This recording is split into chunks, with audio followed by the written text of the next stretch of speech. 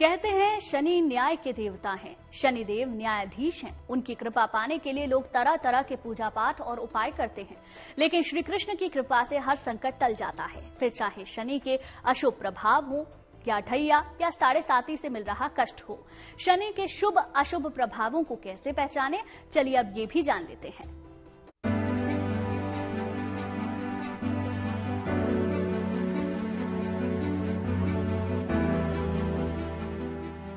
कहते हैं कि जैसा कर्म करोगे, आपको वैसा ही फल मिलेगा। अच्छाई हो या बुराई, शुभ और अशुभ, यही शनि के न्याय के तराजू में झूलते रहते हैं। आपके जीवन में अलग अलग रूप में शामिल होकर शनि शुभ या अशुभ फल देते हैं। इसलिए शनि को कर्म फल दाता कहा जाता है, दंडाधिकारी कहा जाता है।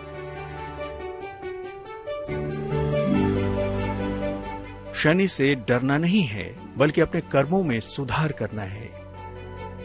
शनि कुछ चीज़ों में परेशानी का कारण बने रहते हैं। वो है रोज़गार और सेहत। ये दोनों मामले शनि देव ही नियंत्रित करते हैं। अगर शनि इन मामलों में परेशानी खड़े कर रहे हों तो श्री कृष्ण इन मुश्किलों में आपकी मदद कर सकते हैं।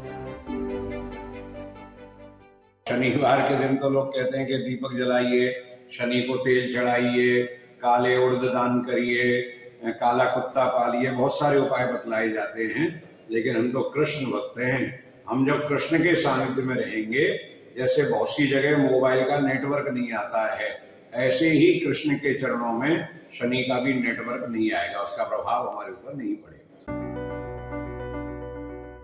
गाय के साथ खड़े श्री कृष्ण के चित्र की स्थापना करें। नित्य प्रातः उन्हें तुलसी दल डालकर पंचामृत अर्पित करें। इसके बाद श्री कृष्णम शरणम मम का जाप करें। पंचामृत का प्रसाद ग्रहण करें। यह प्रयोग लगातार 27 दिनों तक करें। शनिवार के दिन पीपल के नीचे आप सुबह पहले सात बजे से पहले पहले आप देसी घी का उसमें हल्दी ढाल के आप है ना पीपल के नीचे जो दिया है उसको जलाकर आए तो उसी से ही आपके जीवन में उजाला आएगा और शनि की आपकी जो भी पीड़ा है वह खत्म होगी और शनि की कृपा प्राप्त होगी। श्री कृष्ण की आराधना से शनि से मिल रही पीड़ा खत्म हो जाती है, लेकिन ऐसा नहीं है कि शनिदेव ने जो पीड़ा दी, उसे सिर्फ़ श्री कृष्ण ही नहीं हरते। बल्कि शनिदेव भी प्रसन्न हो जाने पर पीड़ाओं से मुक्त कर देते हैं।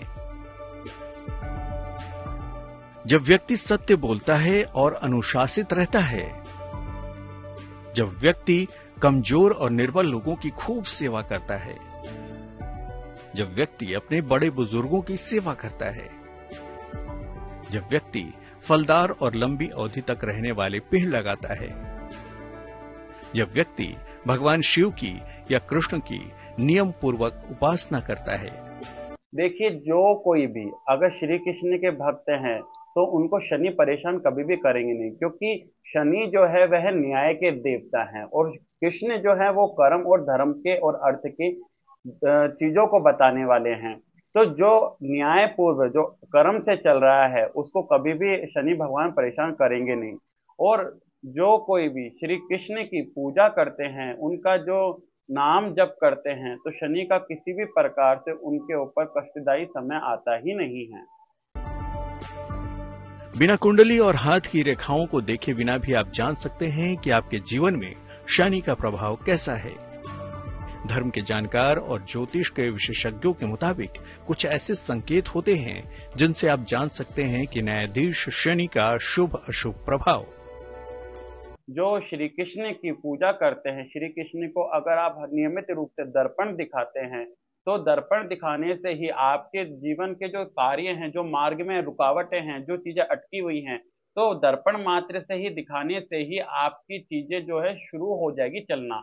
आपने देखा होगा कि हमारे ब्रज के मंदिरों में या अन्य कहीं पर भी मंदिरों में भगवान विष्णु नारायण, श्री कृष्ण राधा को हम श्रृंगार के बाद में उनको दर्पण दिखाते हैं। तो दर्पण दिखाने का मतलब ही यह है कि जिस प्रकार से आप सुंदर रूप में विराजमान हैं, वैसे आप हमारे जीवन में भी सुंदरता लेकर आए।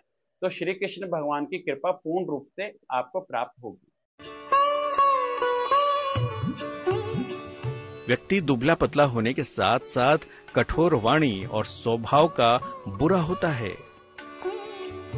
व्यक्ति के बाल रुखे होते हैं व्यक्ति लापरवाह और कामचोर स्वभाव का होता है। जीवन में निम्न कर्म या गलत कार्य में शामिल रहता है। कदम कदम पर संघर्ष का सामना करना पड़ता है। शनि के शुभ प्रभाव। व्यक्ति लंबा और दुबला पतला होता है।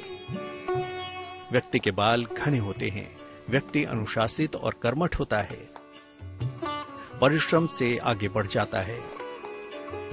आमतौर पर जीवन के मध्य भाग में आध्यात्मिक भी हो जाता है। कानून, परिवहन या अध्यात्म से संबंध रखता है। तो संकेतों को तो आपने समझ लिया। अब समझिए, शनि अगर अशुभ हैं तो कैसे आप कर सकते हैं? सरल उपाय के ज़रिए ग्रहों के न्यायाधीश को प्रसन्न। हम तो एक ही बात जानते हैं, कृष्ण भक्ति। अशुभ शनि कृष्ण से जुड़े होने पर शुभ हो जाता है। भगवान की जन्म पत्री में पूरे 125 वर्ष शनि अनुकूल रहा है। तो जो कृष्ण भक्त होते हैं, उनके भी वो अनुकूल हो जाता है। अशुभ, शनि को शुभ बनाने का सर्वप्रथम जो पाठ है, वह आप श्री कृष्ण का जितना हो सके जप करें। रात्रि में आप जितना हो सके शुद्धता रखें। आप झूठ का कम सहारा लें। जहाँ हो सके, जितना हो सके सच्चता के ऊपर ही आप चलें। और साथ ही साथ में जरूरतमंद व्यक्तियों की आप मदद करें। जैसे जैसे आप ये क्रिया आप कर, करेंगे तो अशुभ शनि की जो दृष्टि आपके ऊपर पड़ी हुई है वह शुभ गति के अंदर हो जाएगी और अशुभ शनि भी आपके ऊपर कृपा करके ही जीवन से जाएगा।